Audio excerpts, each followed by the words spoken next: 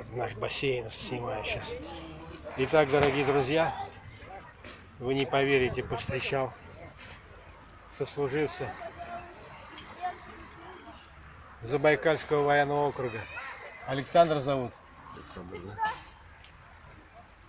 Забайкальский военный округ. Там мы служили с ним. И здесь в Бавлах повстречались. Очень редко кто там служил. Но тогда еще как-то почему-то призывали вот именно в далекие края от мест жительства. Сейчас как-то более современно, все рядом, рядом располагается. Да, да, да, все. И здесь вот бавлинцы служат под контролем.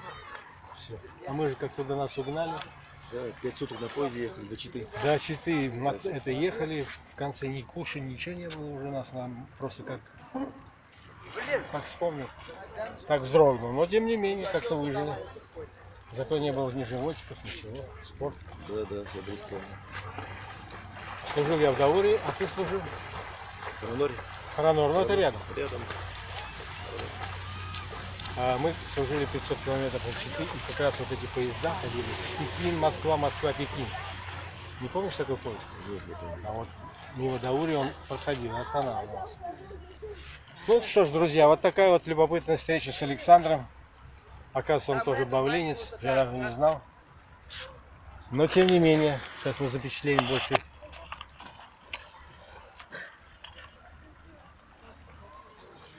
Вот так вот, друзья. До встречи.